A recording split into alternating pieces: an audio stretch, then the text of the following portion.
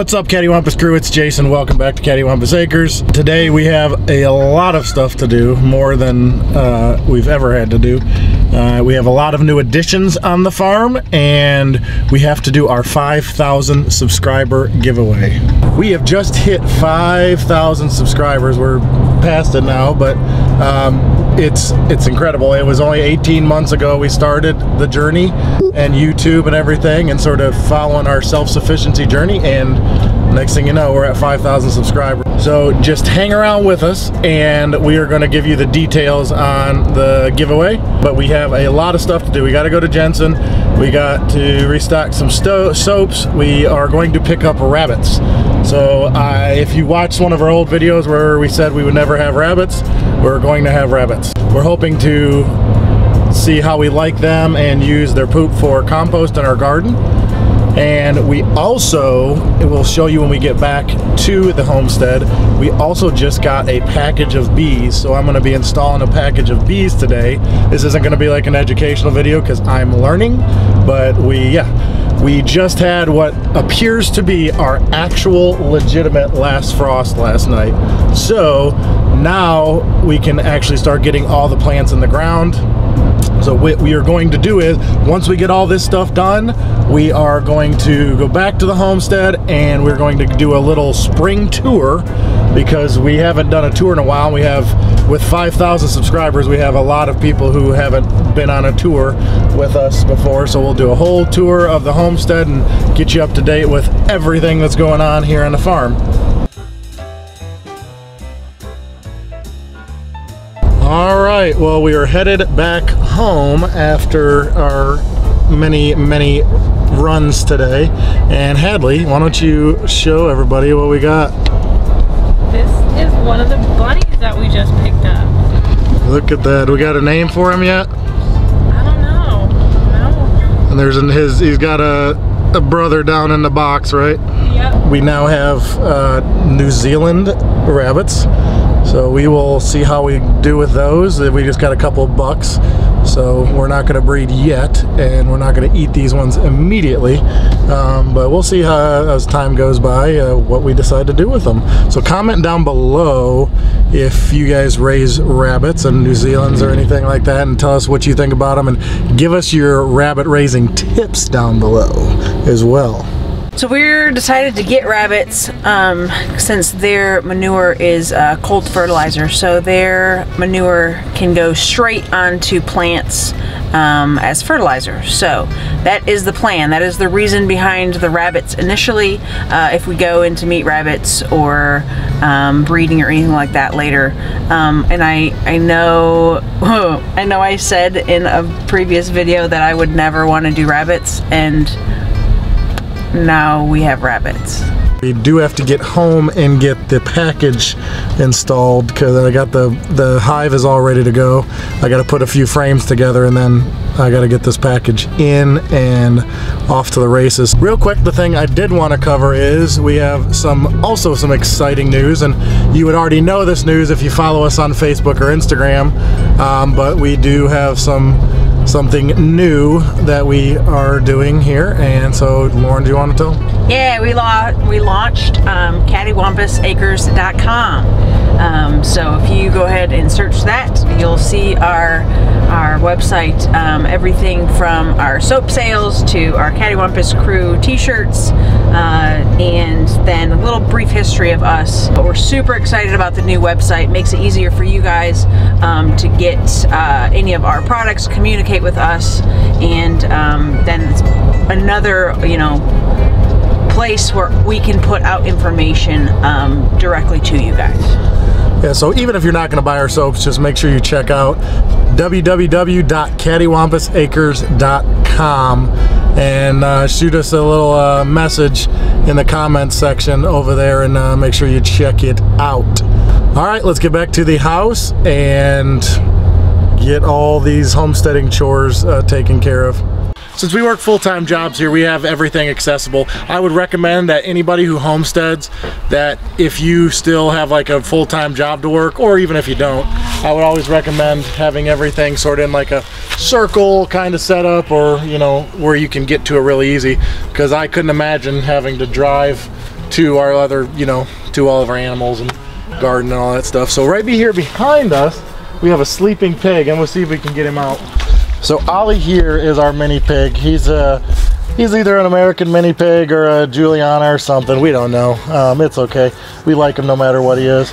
Uh, he's a full-grown mini pig, and he's uh, he's around. We keep him around. He's a great pet. He's friendly, and um, he often acts as a companion to our goats. And we have to move our goats around quite a bit because maybe we don't want somebody to be bred, or we're trying to breed somebody in particular, and so we make sure that we keep um, everybody sort of happy with some friends. And certain um, certain folks like Ollie and our weather goats that we'll show you they like each other a lot so they like to hang out quite a bit.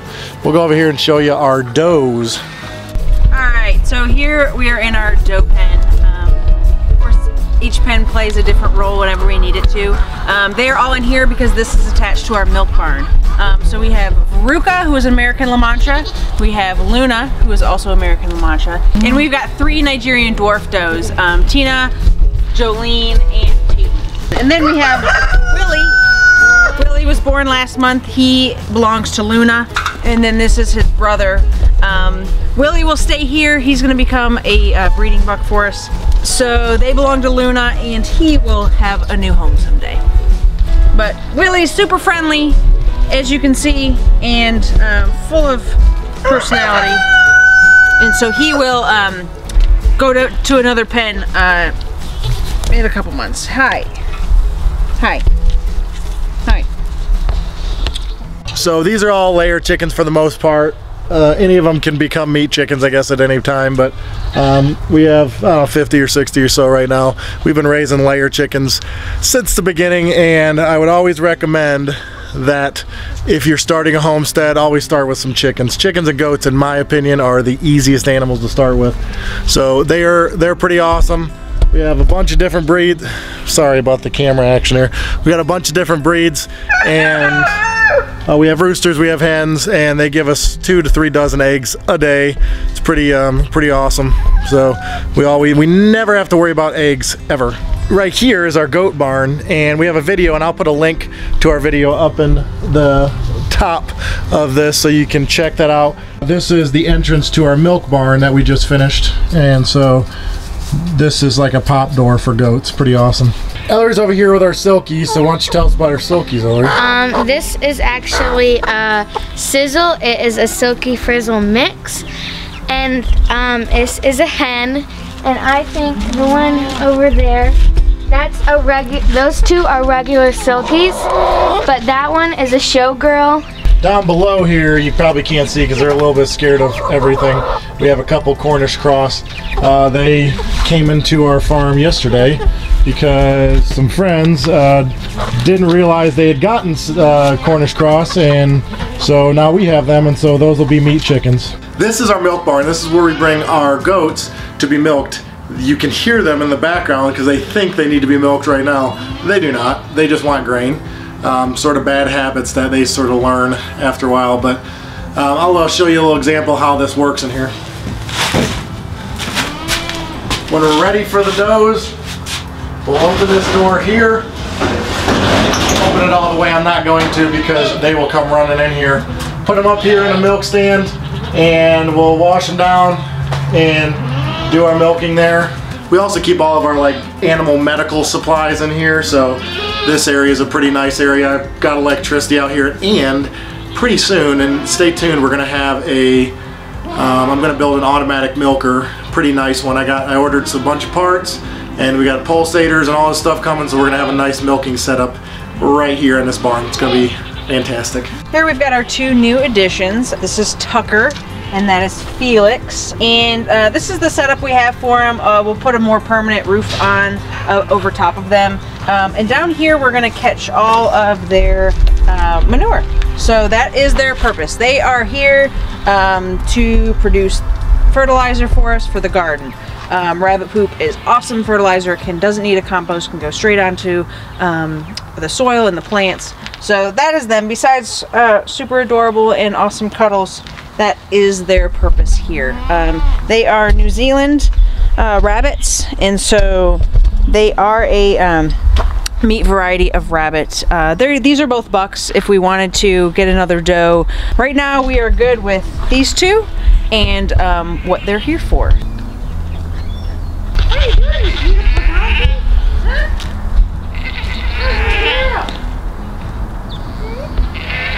Where's my girl? Fiona's our mini donkey. You'll see her in a lot of our videos. She does sort of a, she is sort of a protection animal. It's mainly Lauren's pet. We occasionally let Fiona out to just roam and graze the yard. She, she stays put. So this is our pen on the other end of the house. And in here we have Francine. She's one of our American La Manchas. She hasn't been bred yet. We're trying to breed her with Mr. Miyagi, this handsome fellow here. And so we can get some mini manchas. We're excited to try them. And we got our two weathers, Bojangles. And if you can see way far in the background there, that's Buford just hanging out. I don't know what he's got going on today. um, so yeah, these are, this is, this is the separation we do because now that our girls are in milk, we don't want Miyagi fooling around with the girls that are in milk because it will absolutely ruin the taste of our milk. Here comes Buford. He wanted to, wanted to be part of the show. Well, if you couldn't tell already, this is our greenhouse. Uh, if you've never seen our greenhouse video, I recommended you check it out. This is, we turned the whole bunch of garbage destined for the landfill windows and repurposed them and made them into this greenhouse here. And as you can see behind us here, we got tons of plants ready to go. So these are American Giant Pumpkins and this is for the hashtag Hoss Pumpkin Boss little growing competition. So there's some other YouTubers that are getting in on this and so we're excited. We started these a little while back and they're really taking off. I think we're gonna plant these in the orchard. I wanna see how they can go and we're gonna baby these bad boys. And just last night I thought of a really good idea on how to weigh them, but I'm not gonna spoil it yet because then I would be giving away all my tips and we can't have that. Make sure you check out uh, Four Kids in the Farm. Uh, they're the ones running the little competition along with Hoss Tools, and it's hashtag Hoss Pumpkin Boss. And you got to grow one of Hoss's four uh, giant pumpkin varieties. We are doing the Atlantic Giant. I think we got the best shot with those, and we'll see how it goes. Here is our strawberry bed, and this is this is right next to our greenhouse, which is right on the edge of our orchard. As you can see, everything's planted really close together. Uh, that's a little bit. Um, uh, I think it was Luke from MIgardener that recommended doing it. And these are just regular sized trees. These aren't dwarf trees. We prune them and we keep them uh, smaller size. Eventually, this is going to be a lush canopy across the top here, about eight, nine feet tall, and just uh, all these beautiful blooms for all these lovely uh, pollinators to come through and just go flower to flower. We're going to take you a little closer on some of these. All right, so this is our snow angel, our white snow angel peach tree. Uh, this is about three years old, and you can see it is loaded with peaches. Um, this is an early bloomer, um, so about February we started getting blossoms on this. Uh, and so now we've got all these itty bitty peaches, these fruits um, that need to be thinned or else they're going to be way too heavy uh, in a few weeks when they mature. So super excited about these. Um, this will be the first real fruiting, like full fruiting that we're to get from this tree. So on our channel, we really preach pruning a lot on a lot of different things. And if you look behind me, these trees here, these are from, these were planted last year. We already got a ton of plums. We have Alberta peaches, Santa Rosa plums, Kiefer and Bartlett pears, Fuji and Gala apples back behind me. We have fig trees here. We have a persimmon tree back there. We have rows of berries. We have a lemon tree, a Meyer lemon over here. And this is all in about a 40 by 40 area. We are certainly trying to turn this into a food forest because we think it's going to be really awesome when that happens and we can come out here and not only will we have all this fruit up above us we'll be able to plant stuff below and keep a nice uh, flora going down here and keep all the nice worms and, and everything going and, and put compost in here and everything's just going to be lovely. All of our, all of these trees, except for maybe one or two, came from Ison's Nursery, uh, which is in Georgia, just a couple hours south of us here. So we got local trees from a local nursery, and they are doing great. They're Yeah. doing really well. So prune your trees. Don't forget to prune your trees. So this is our enclosed garden. And I'll give you a brief, in the middle is a little untamed right now. We're gonna be putting raised beds in here.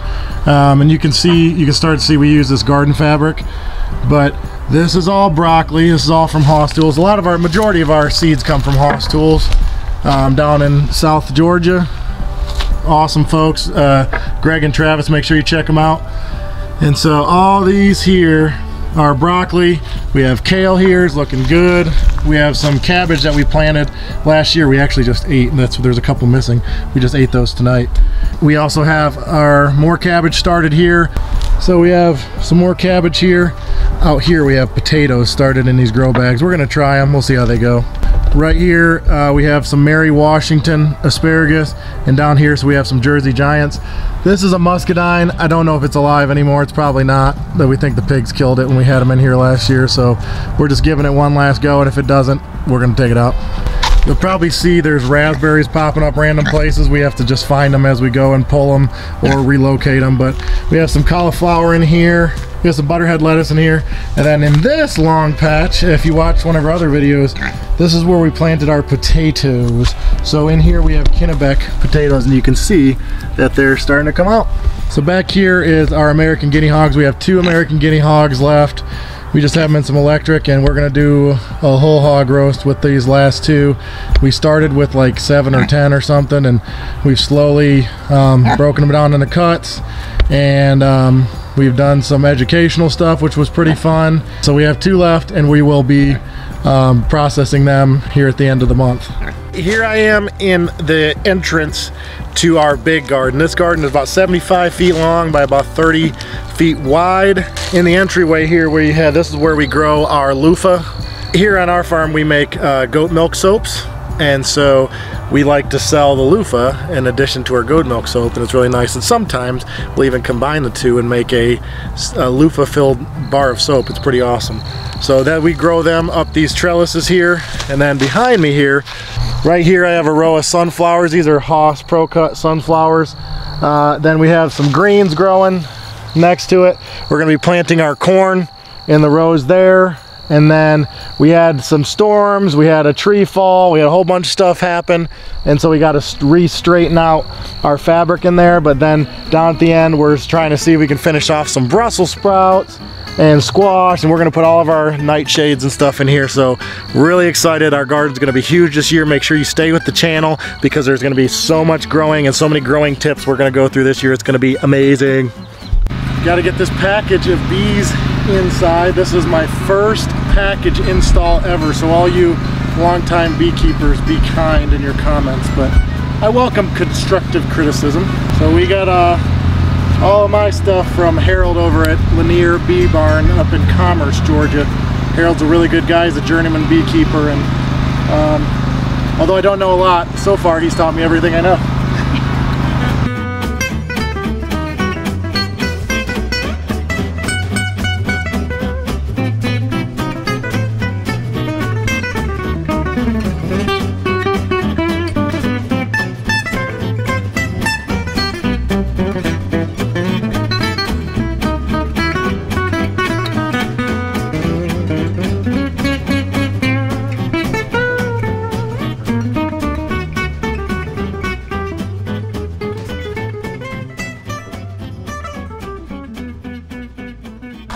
One last thing, uh, you see Lauren's uh, rose bed back behind us.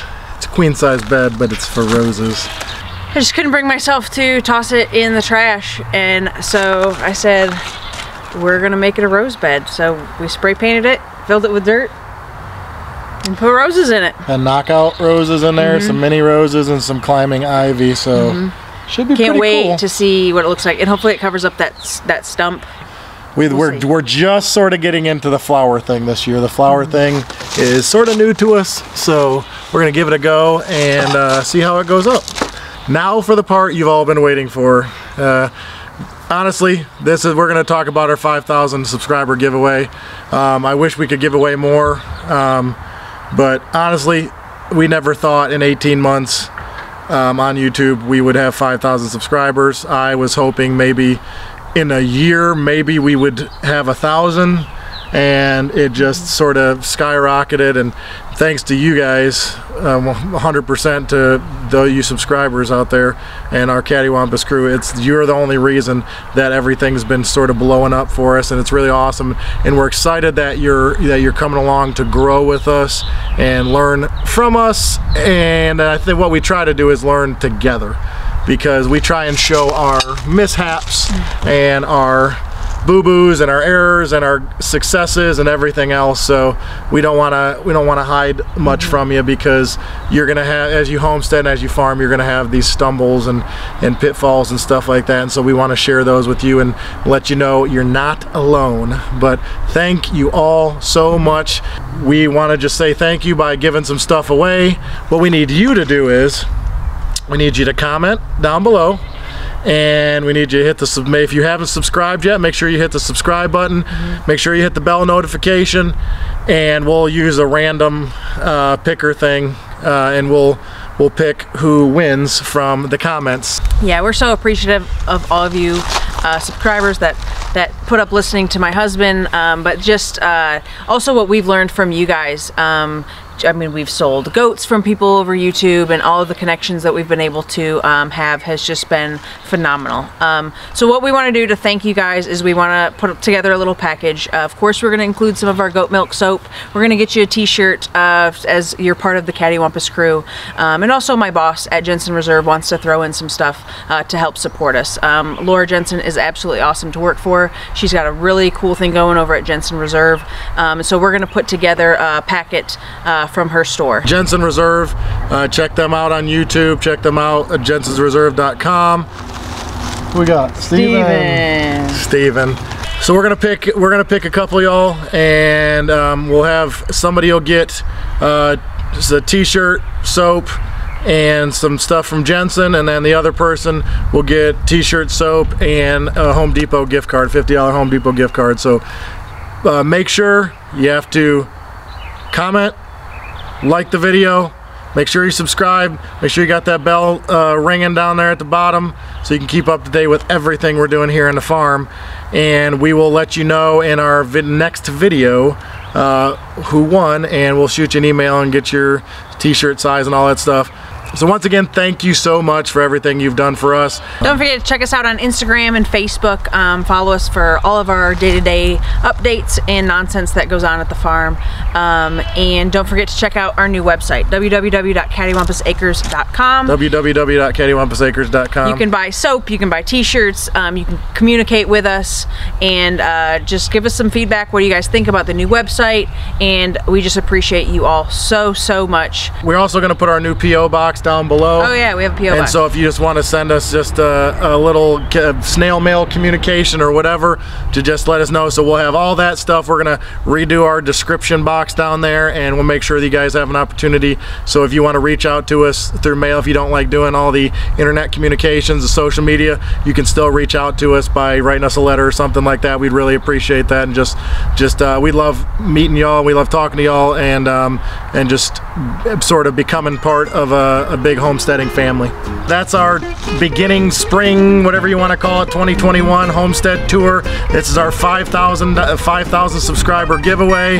Uh, we got so much stuff going. We got babies still coming. The Nigerian dwarfs are due any day now. We're gonna have a whole bunch of plants in this garden. This orchard's exploding, um, and we have so many more projects to do. The one thing we never want you to forget, and we always try to remind you is, is when you homestead, You're home fed.